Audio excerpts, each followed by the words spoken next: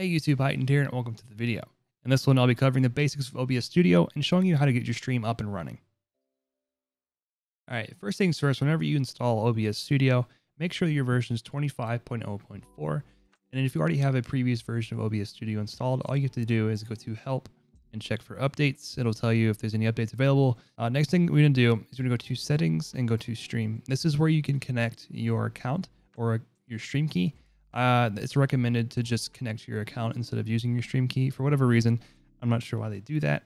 And once you click on uh, connect, it'll bring up this option right here if you want to use Twitch add-ons. These are just basic, these are just third-party emote add-ons that you can use. So if you have any, if you've ever used BetterTTV before and you have emotes added to your channel, you can go ahead and add them in there. This will show up in your chat.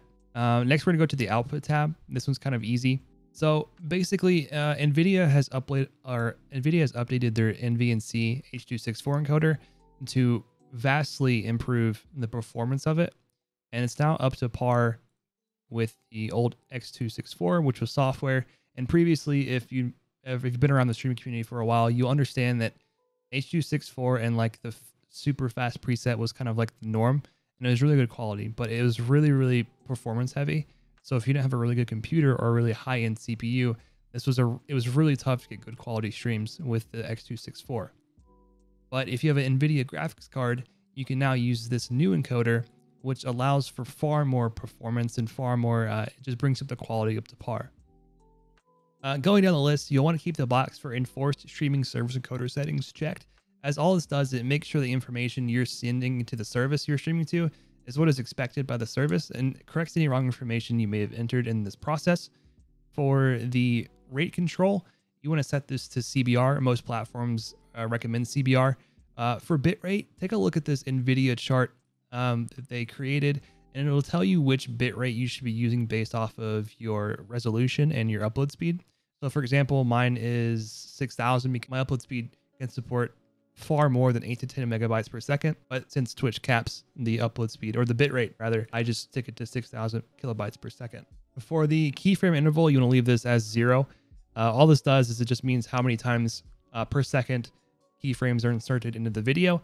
This is really ideal for high movement games such as shooters. So if you're a low motion streamer, you don't do a lot of movement or whatever, like car games or whatever, you probably want to, you can bump this up to like one or two and it'll increase the quality of those lower motion videos. For the preset, you want to leave it at max quality for the NVIDIA NVENC. If you run into issues, uh, specifically over encoding issues, you want to drop this down to quality. Um, most GPUs are going to be, or most NVIDIA GPUs are going to be able to use max quality just fine.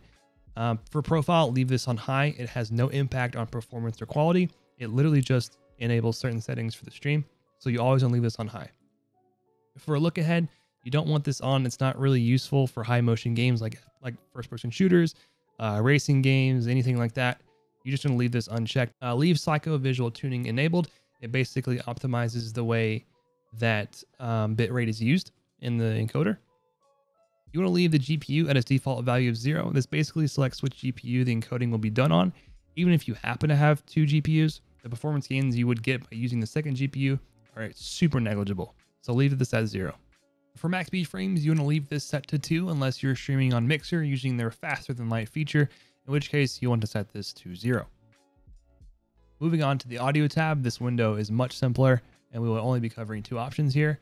For desktop audio, you can either leave this as default, which will use the default device you set in Windows, or you can select a custom audio source. For me, my system audio is, route, is routed to the system channel on my Go XLR mixer.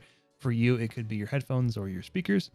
For the mic slash auxiliary audio device, the same goes for this as it does for your desktop audio selection. If you've already made your mic the default recording slash communications device in Windows, you can leave this as default, but you can also select another device should you feel the need to.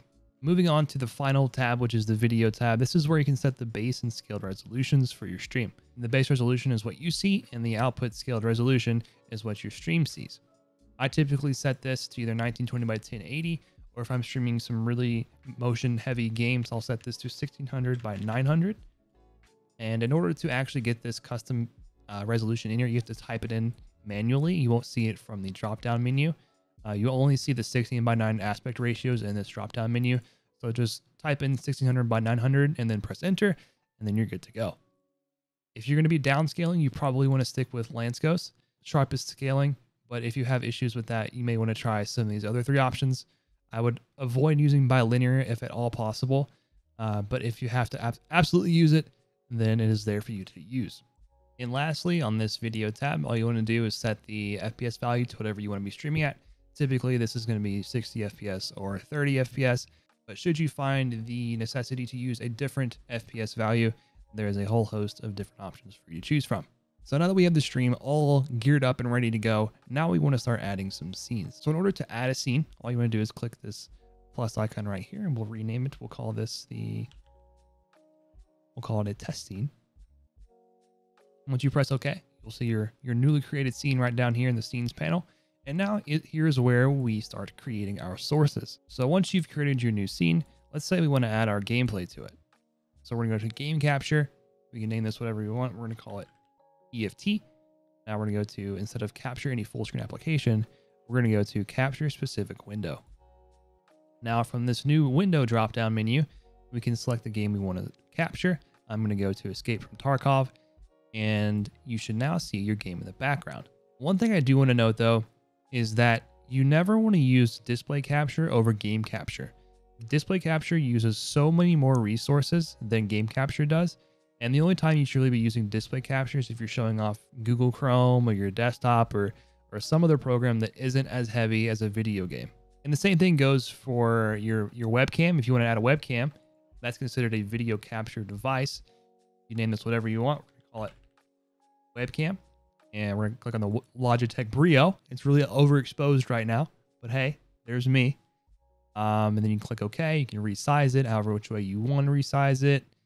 Uh, place it wherever you want.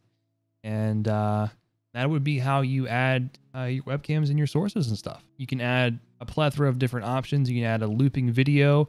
You can add another audio input device if you have something else. You can add the video capture device, like I said. That'll count if you have an external capture card, such as an Elgato HD60. That would be considered a video capture device as well. So if you're wanting to stream your console gameplay, you would treat that the same way as you treat a webcam. You would just video capture device, call this, you know, HD60 or whatever. And then from this drop down, you would see the, uh, you would see your Elgato HD capture or whatever it's called. Uh, just cancel that. And uh, then you have your source there. The last thing that I really want to talk about is your audio levels. Um, if you're speaking at a normal voice, you kind of want to shoot for the the yellow range right here, the yellow territory, the yellow area.